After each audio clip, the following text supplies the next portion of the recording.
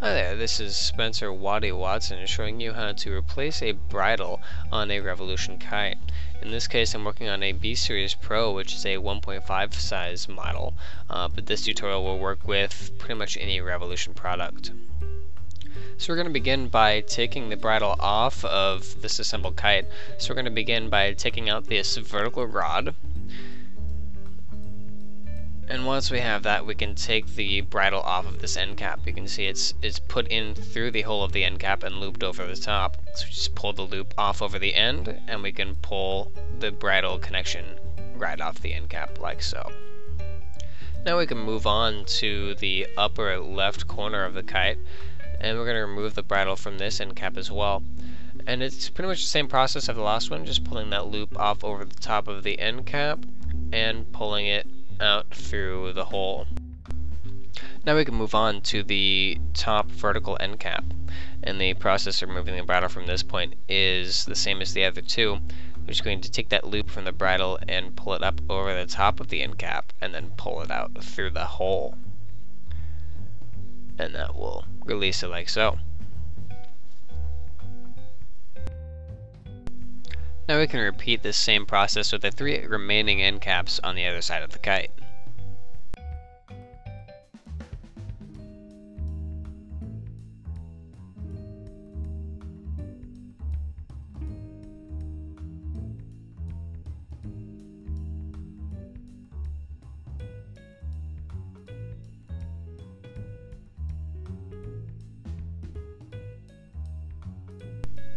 Now that we've removed the bridle from all of the end caps, we can separate the two vertical legs from the horizontal leg of the bridle. So to do this, we can undo this one knot here, basically pulling on that one uh, top bit of the knot and pull the larger loop through the smaller one and then the smaller one back through the larger one.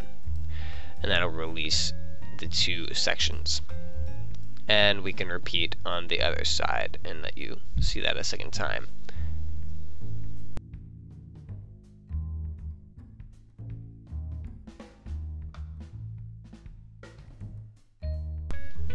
Now that we've separated the different legs of the bridle, we should have three pieces.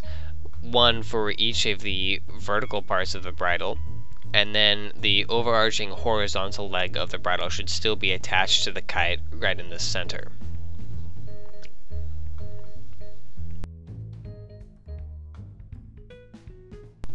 The final step in removing a bridle is to take off this horizontal portion.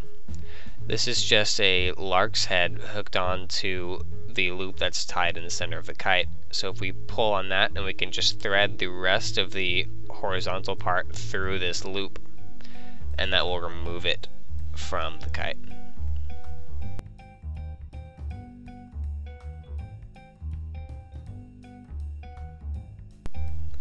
Now when you receive a new bridle, it should come in two packages. One package will have the two smaller vertical sections of the bridle and the other will have the larger horizontal section of the bridle.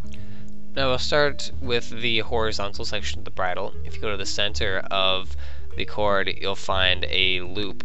And we'll put that loop through the loop that is already on the kite and then thread the rest of the cord through that existing loop so that we can create a knot on this existing loop that's on the kite and secure it down. And that should create a nice solid connection. Right, right here.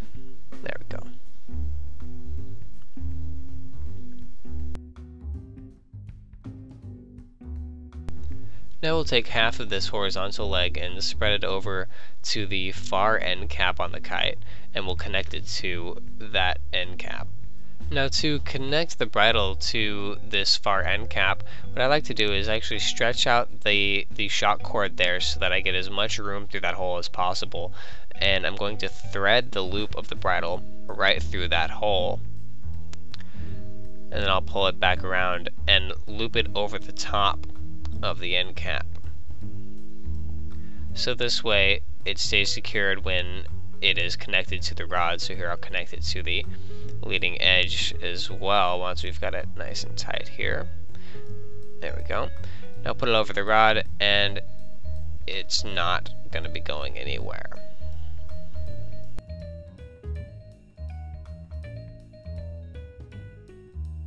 Now we'll just repeat the same process on the other side of the kite.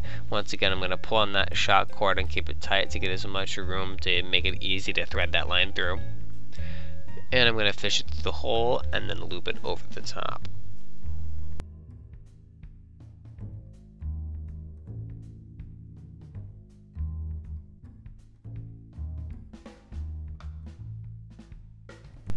Now we're going to start connecting one of the vertical legs of the bridle. You can see I've laid it out here so we've got a smaller knot up in the top and a larger one at the bottom so we've got that smaller one towards the top. Now I'm going to take the bridle and push it underneath that leg that we just connected so that the horizontal one lays on top. And then we're going to connect it to this top end cap the same way we did on the outside ones. I'm going to try and pull this bungee tight and fit it through the hole and then loop it over.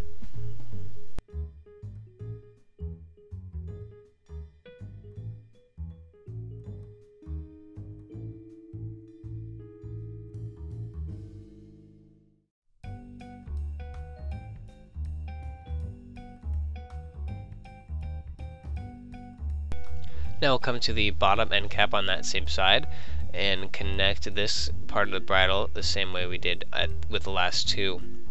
Pulling that bungee tight and pushing it through the hole and looping it over the top.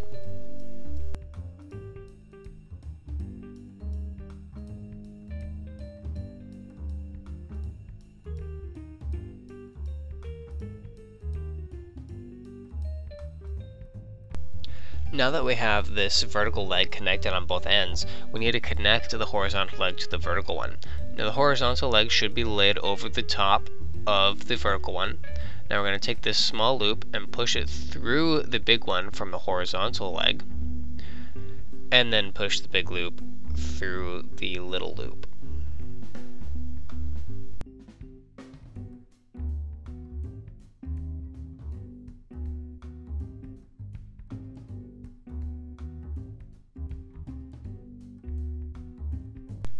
Now we can repeat the same process on the other side with the other vertical leg of the bridle.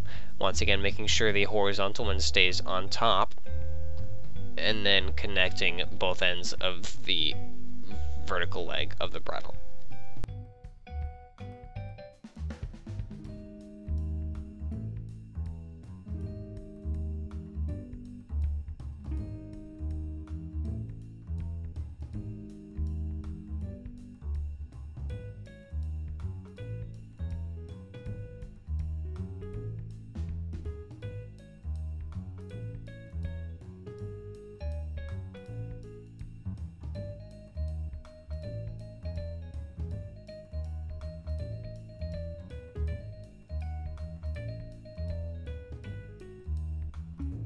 We can then finish off by connecting the last vertical leg to the horizontal leg the same way as we did earlier.